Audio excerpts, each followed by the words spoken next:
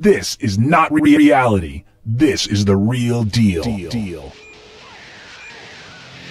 So, how do you accomplish something you've never done before? I mean, something big, like becoming a music star, producer, engineer, lawyer, executive, or anything else in life. Who holds the key to that kind of success in an ever changing world of challenges? I learned my craft from trial and error and by embracing various mentors. I got the real deal on all I needed to know from those that had succeeded before me. I am Dug, and this is the real deal on the entertainment industry. Coming up, rock icon Dee Snider, guitarist Al Pitrelli, entertainment attorney Ed Grauer, artist and songwriter Jive Jones, and chief studio technician Mike Donahower. Together, we'll explore the real deal on their lives and their experiences. This is the real deal. deal. Right on. So, we have the distinct honor today of a man who has been somewhat of a mentor of mine. We've known each other for over 10 years. He sold over 10 million records worldwide, and now you see him quite a bit on VH1 and other stations, as well as movies and on radio. I'm honored to call him friend. Mr. Dee Snider. So, how did you get into this wacky, crazy business? Yeah, I mean, uh, you know, uh, we're, talking obviously about the music business, and uh, it's uh, it really comes from a deep-seated starving uh, starvation for attention. You know, uh, the oldest of six kids, and uh, my it was back in the day when women had them like they were twins. You know, consecutive. You know, sextuplets or something. Year after year after year, you kept giving birth to another one, and being the oldest, I quickly was pushed aside and said, "You can feed yourself. your your siblings need help." Um, and it was really uh, I didn't even see the Beatles on the Ed Sullivan show. I my father had banned TV in our house that year, which is a whole nother story. He just decided no TV. We're gonna get back to reading books and building puzzles, you know. And so it was like you know we were living in a log cabin or something. I'm, I'm just glad we had electricity. Right. The uh, we I came to the bus stop. I guess it was third grade or 1964, you know, and um, everybody was buzzing. And I said, "What's going on?" They said, "Oh, you see the Beatles last night on the Ed Sullivan show?" Ed Sullivan show. And I said, uh, "What? What's a Beatle?" And they said, Yeah. "It's a rock band." You know, and he said, uh, "Everybody was screaming." And the minute I heard the phrase, "Everybody was screaming," uh, and I remember clear as a bell saying, "Well, that's what I'm going to be." And I didn't even know what it was. and he said, "What?" I said, "I'm going to be a Beatle." And then I found out quickly that you couldn't be a Beatle. You could be, you know, uh, you know, in a rock band. But my sole motivation for becoming a rock star was the idea that I got all this attention and everybody was focused on you. And so it's all based on my, on my psychoses. And uh, thanks, mom and dad. Yeah. Well, you're feeling much better now. Yeah, exactly. One of my favorite things, Dug, is that is you know my father often likes to take credit for my success, saying that if it wasn't so hard on me, that I wouldn't be who I am today, and I wouldn't have had been driven to succeed. I said, "How do you know I wouldn't be happier as a well-adjusted accountant?" Right. rather than a damaged rock star. But uh, but like I said, I feel better now. Well, what type of advice would you have for people starting out now? Any sort of paths that you would recommend that uh, someone takes? I don't want to poo-poo going to school, okay? And I don't want to be a person because going to school, whether it's a you know a college or it's radio school or a music school or a technical school, um, and they exist out there, are great ways to learn. They're great ways to uh, find your entrance into a field. And if you don't know how else to do it, it's it's a doorway, you know, and, and it could lead, it will lead you down that path where you want to go. The other school of thought is the school of hard knocks, and that is to just get out there and do it. Instead of going to college for, for to school for four years to learn screenplay writing, just start writing screenplays.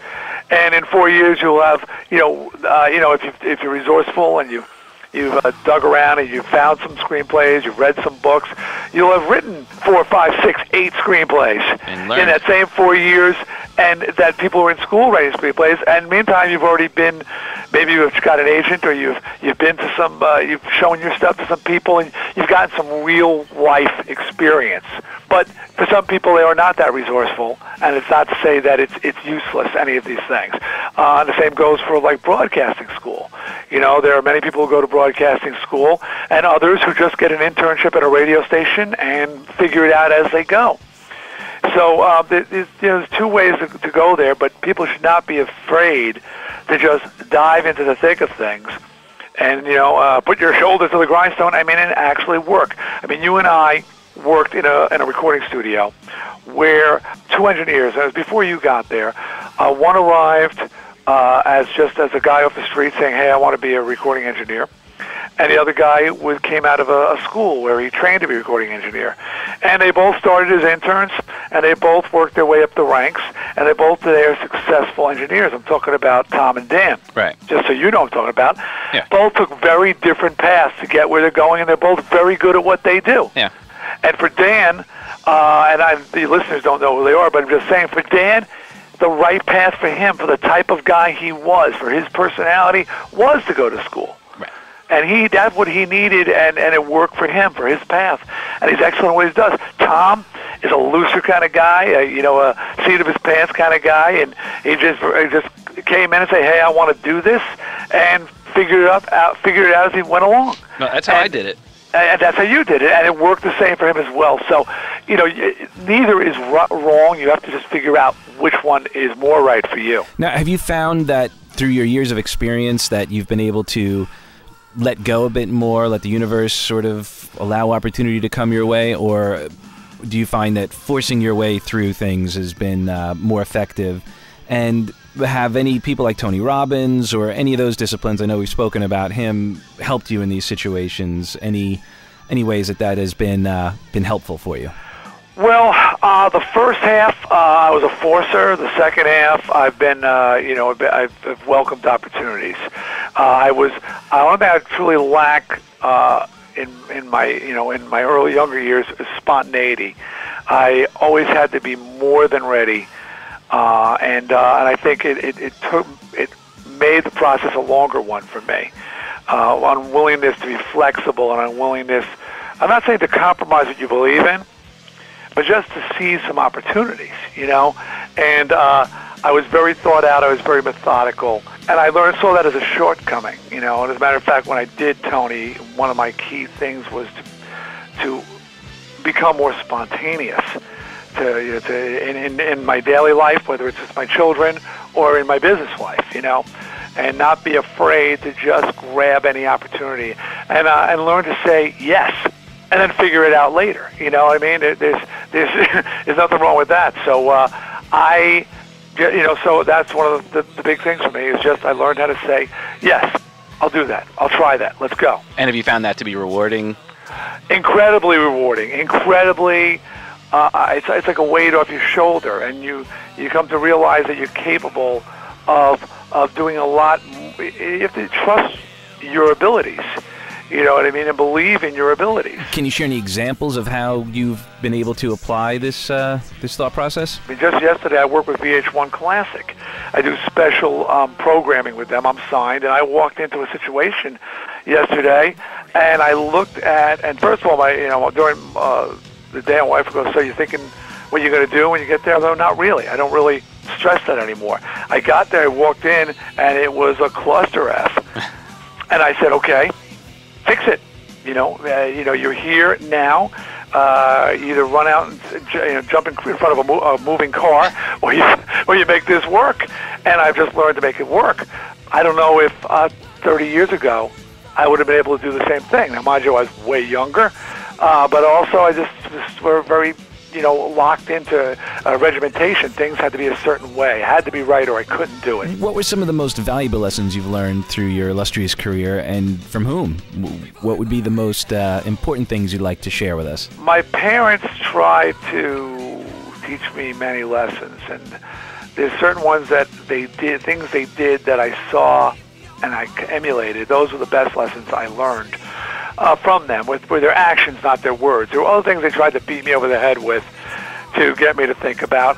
And um, my biggest ones have been economic. I've always been really bad with money.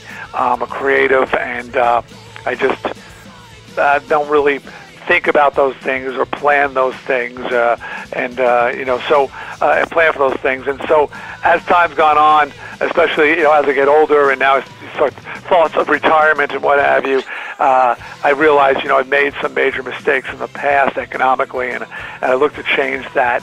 Um, but the same thing, you know, for a creative uh, like myself, uh, you know, my idea of, of putting putting something away for the future is just creating another property that's going to make money. Right. so I can get a. All right, that'll be my retirement fund. I'll I'll get a windfall off that. You know. Um, you know, it's, it's, we all have our strengths and we have our weaknesses, you know, and there are people there, like I've got a brother who's a cable guy, but he is so well invested and so well saved. He's, you know, he's he's going to retire in a in a beautiful state. But meanwhile, he had a very very what was the word about minimal minimalist lifestyle. You know, well, I'm saving, I'm saving, I'm saving, and meantime, life's passing by. But he's going to have a great retirement. Uh, me, I'm just hoping that some of these projects bring a nice windfall. Right. Well, obviously, the the goal would be to get a balance of that to be able to enjoy life and. It absolutely is, and that's you know certainly what I'm trying to do now.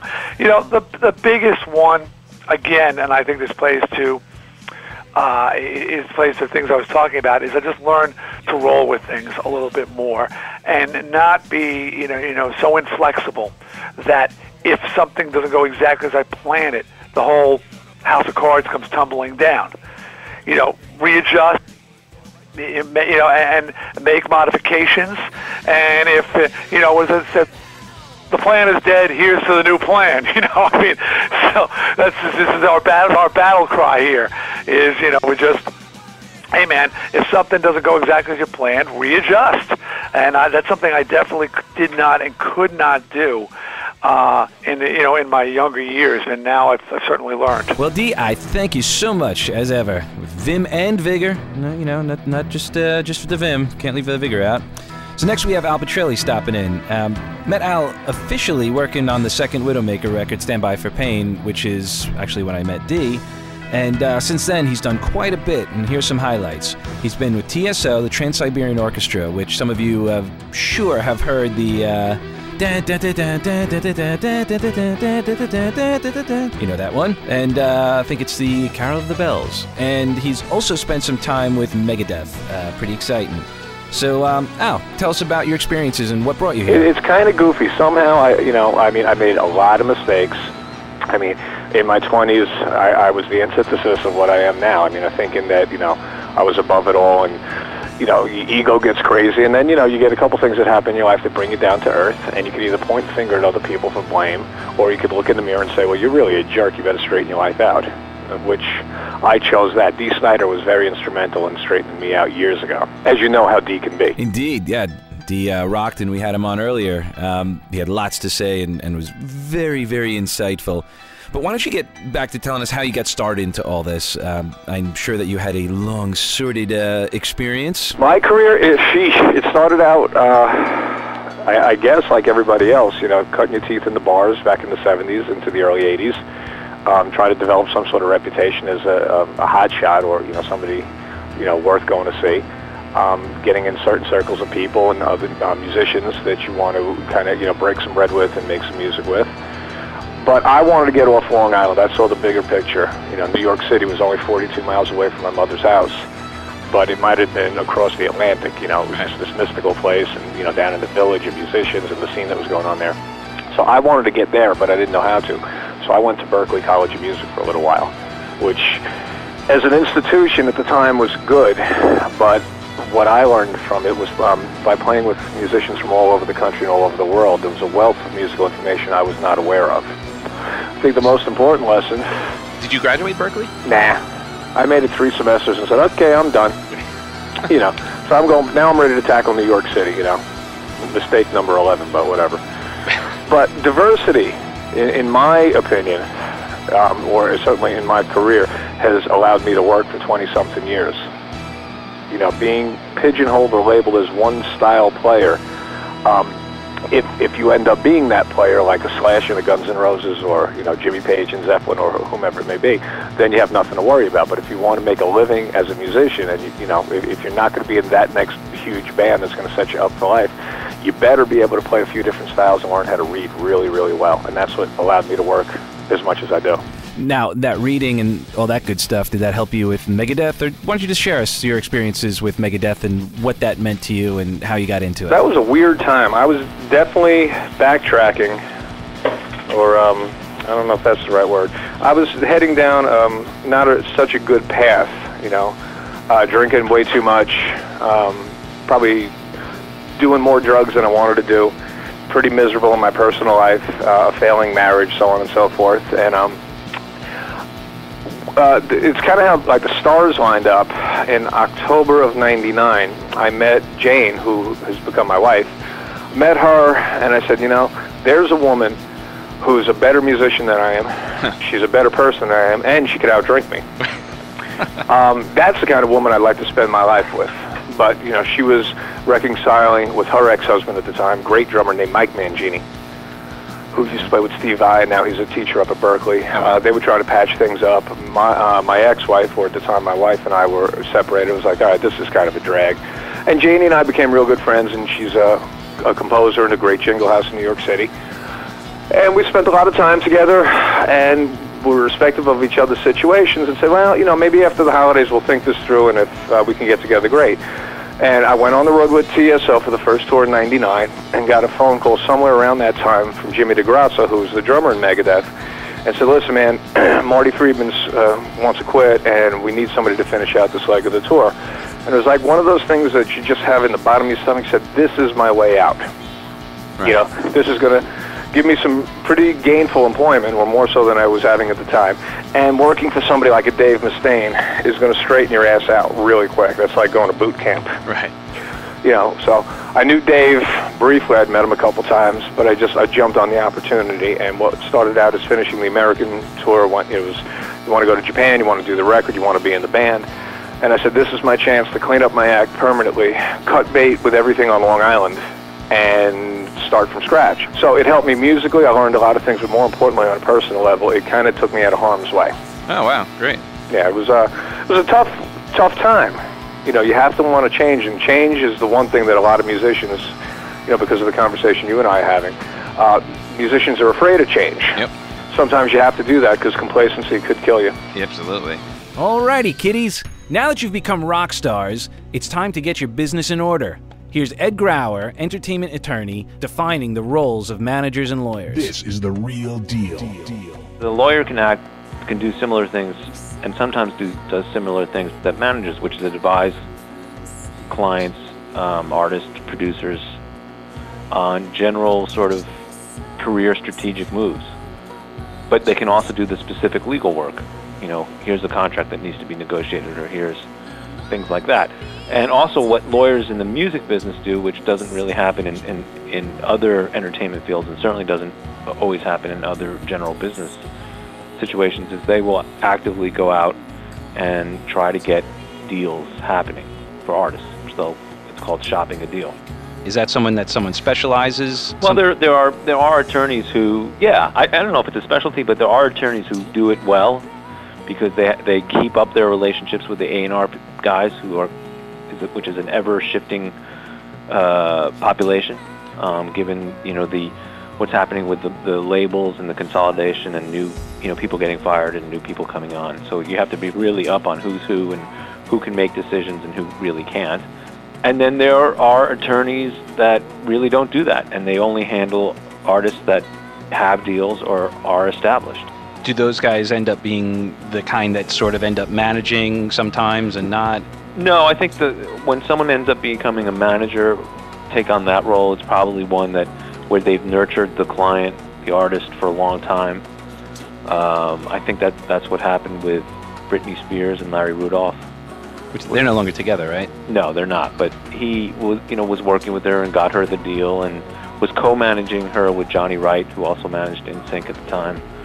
And and then it really that became his full-time job because she was, you know, obviously a superstar. So he he stopped practicing law and and and you know managing Britney and a couple of other artists was was his full-time. So, when is the best time and the best method in picking an attorney? if you don't need an attorney to shop, then you should you don't really need an attorney until you actually have a deal on the table.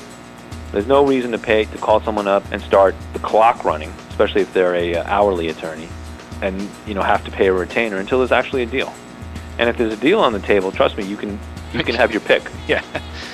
If you want a shopping attorney, then at the same time that you're showcasing around town, you might want to call, you know, ask around and see who are the shopping attorneys in New York, like if you're in New York, and you would and start trying to invite them down to your shows, send them your, your demo, just like you would send a label. And would you say that there's a strategy to picking attorney, even if you know, let's say you're signing to Columbia or whatever, you know, label X? Would it behoove someone to do some investigating to see who has good relationships there, or do you think that that really I doesn't make a difference? well. I think the business is. I mean, that it's okay, but I think the business is, is is small enough that I mean, I have relationships in business affairs departments with every everyone at every label, and especially given that the labels are consolidating so much, there's only only like three. three or four. so I, I mean, uh, you know, it's like I've dealt with over the years whether they were at one time they were at other firms and now, or they were at one label now they're at another label, and so I think that's true for most attorneys. You know, unless they're brand new, um, that would come into more into play if, knock on wood, you're successful and it's time to renegotiate your deal. Then you might want to pick an attorney, right, who has, you know, like who has a relationship with the chairman of the whole thing. What are some of the more important lessons that you've learned that you could share with us? I have two lessons that, that come to mind, and they're not necessarily specific to lawyers, but they might be specific to the entertainment business, and they're probably specific to every business. One is what I learned early on was that there's always someone great around the corner. It might take you a minute to find them, not if you're an artist or a producer, but if you're an aspiring manager or an, you know, an early, you know, a young attorney or, or a young A&R executive, or you want to get into that role, where I was working with this art, the first artist I was working with, and I thought I'll never find an artist like that again, a great artist like that. Well, A, he didn't turn out to be a great artist. He turned out to be a very successful songwriter, but you know what? You never know. There- There's always going to be someone around the corner that, that is going to be great. So everyone has the story of lo- you know losing that great artist that they were working with. And then the other um, thing is is that there are good guys and there are good people in this business, but everyone is out for themselves. Also, if you're an artist and you you're working with an A&R guy and they think that he's your best friend, and then all of a sudden things start, you know, the cracks in the relationship and the label's not supporting you the way you want, or you're not getting what you want. At the end of the day, this A&R person's most important job is to keep his job, and not necessarily to service you as an artist. And then the other side of the coin is if you're a manager, producer, even an attorney. I've gotten fired by clients. You know, the artists are egocentric, whatever. They're artists. And if you get fired or get you think that this guy's your best friend, you guys are going to be together for your whole careers, it's very unlikely. And they're looking out for themselves, and you should look out for yourself as well. It's not all sex, drugs, and rock and roll. I wanted to explore other opportunities in the entertainment industry, so I caught up with Mike Donahower, chief technician at a major recording studio, on how he chose his rewarding path. Well, first I was interested in audio engineering, actually being the person who recorded and mixed music. But I I soon discovered that that I was not a patient person in that way where I could sit and and listen critically and and manipulate and create a sound to have a vision, an end vision in music that that I had to achieve in a mix. I had a self-taught background in electronics and luckily in my first studio internship discovered that there was someone there who behind the scenes worked on the equipment, kept it clean, repaired any problems, and also installed new equipment. And that job just that just clicked with me. It was perfect for my personality. So, what advice would you have for anyone starting out based on your experiences and, and how you were able to figure out what really spoke to you? I think it, it has to come first from an internal motivation. It really it's uh, it's reflection. What what do you enjoy doing? I, I spoke to a, a high school student who was here the other day. It was a one day internship. And I, I asked him, well, so what do you what are your hobbies? What do you like to do? And he couldn't really identify anything specifically except that he liked to uh, to uh, chat online and play video games. and he he wasn't a musical person. He was kind of thrust into this internship by the school, but I was trying I was just trying to to impress upon him that that the the most joy you'll have in a career is something that that comes from within when you really look at what you enjoy doing uh, and and then take it from there. I'm not a I'm not a very good salesman, so I just would never ever be able to sit at a desk and just uh, place cold calls all day, trying to get people to invest in a, a mutual fund or to uh, to get their chimneys cleaned. Uh, I would never be able to do that. It would have to come from from uh, some sort of internal motiv- motivation. If I wanted to change and I saw that that that, that change was really something that I enjoyed, then uh, then nothing would stop me.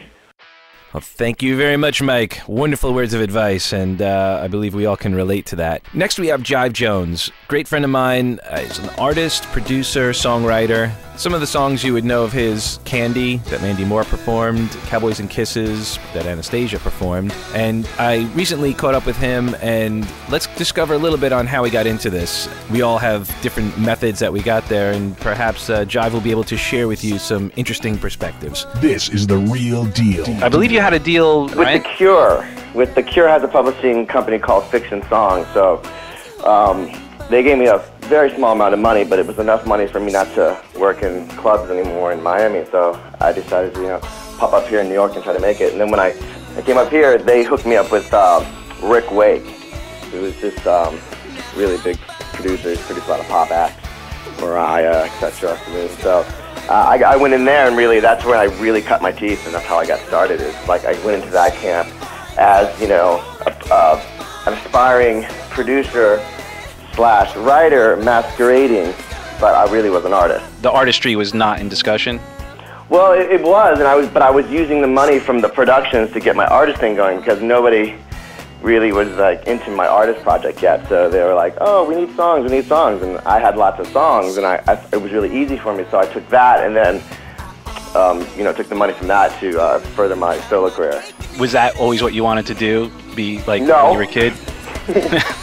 I didn't even know what songwriting was. I learned all that when I got here, but um, I just wanted to be. I'm not, you know, I've always been into my artist project, but when I came up here and people were like, you know, we'll give you this much money to write this song for this person, I was like, you know, I got to do it, you know, and I, I really learned. Uh, I had a hidden talent for writing songs and production, but I definitely it was a lot. You know, when you're in New York, uh, subsistence is is the, their main goal. So I think that in trying to keep myself in New York, I was just really taking any gig I could. If it was songwriting, if it was singing backgrounds, doing jingles, whatever it is. You were over there at Dream Factory, so and they were into everything. So we would Right. just work as much as we could. And a good thing about that Dream Factory was that a lot of the guys there were older guys, so but come seven o'clock they'd leave.